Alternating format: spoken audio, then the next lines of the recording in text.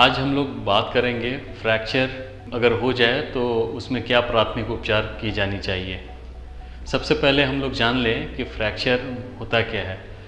अगर कभी गिरने से या एक्सीडेंट होने से अगर कोई हड्डी टूटती है तो उसमें क्या प्रमुख लक्षण आते हैं? अगर हड्डी टूटने के बाद क्या होता है, उस एरिया में सूजन हो जाता है, वहाँ पे दर्द होने लगता है, अगर थोड़ी सी भी उसमें टच किया जाए तो दर्द होता है। दूसरा देखा जाए तो वहाँ पे एबनॉर्मल मूवमेंट होता है। हाथ हो या पैर हो, अगर वो टूटने के बाद वहाँ वहाँ मूवमेंट कम हो जाता है। ऐसी अगर स्थिति हो तो हमें समझना चाहिए कि वो हिस्सा हमारा टूट गया है। अगर ऐसी स्थिति हो तो एज ए प्राथमिक उपचार हमको क्या करना चाहिए? सबसे ज़रूरी ये है कि जो पार्ट हमारा बॉडी का टूट गया हो, वो स्थिर रहे।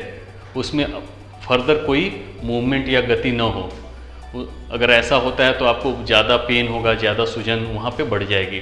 तो उसके लिए क्या करना है, आपको उस एरिया पे एक पैडेड स्प्लिंट मतलब कोई लकड़ी का टुकड़ा, कोई कूट या कोई छाता आपको उस हिस्से पे रखना है, इस तरह रखना है ताकि वो उस पार्ट को स्टेबल कर पाए। उसके लिए आपको उसके स्प्रिंट लगाने के बाद ऊपर और नीचे बैंडेज से आपको उस हिस्से को सिक्योर कर लेना है।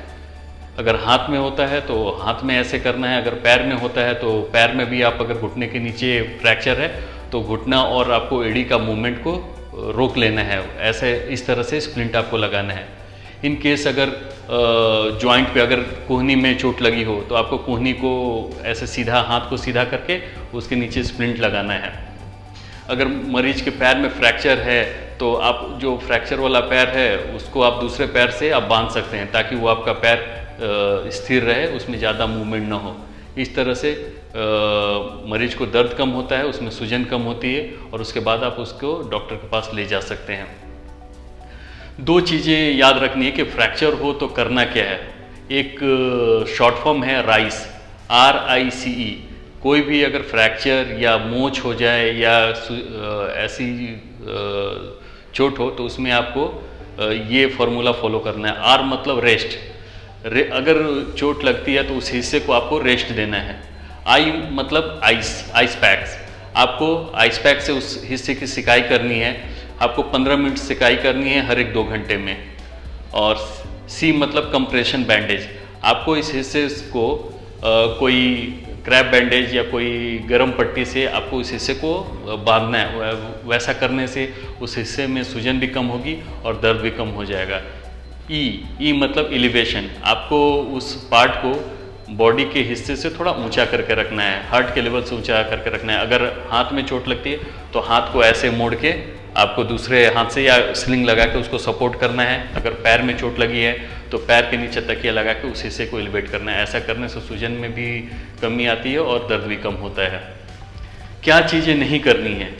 उसके लिए एक फॉर्मूला है harm H A R M H मतलब हीट कभी भी ऐसी चोट हो, उसमें आपको गर्म चीज़ से सिकाई नहीं करनी है। जैसे ए से एल्कोहल बहुत लोग उस पर एल्कोहल की सिकाई करते हैं, हल्दी चूना लगाते हैं, वो चीज़ आपको नहीं करना है। आर मतलब रनिंग या एक्सरसाइज मतलब उस हिस्से से आपको फिर फर्दर काम नहीं लेना है।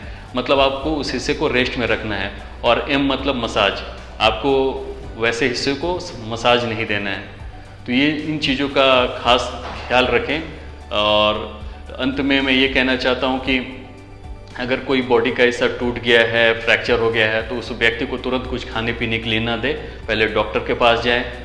और दूसरी चीज़ ये कि अगर हाथ में फ्रैक्चर है तो उंगलियों का स्थिति आप देख लें पल्स अगर आपको पल्स चेक करने आता हो तो देख लें उस हिस्से में पल्स है कि नहीं, उंगलियों में मूवमेंट और सेंसेशन उंगलियाँ गर्म है कि नहीं।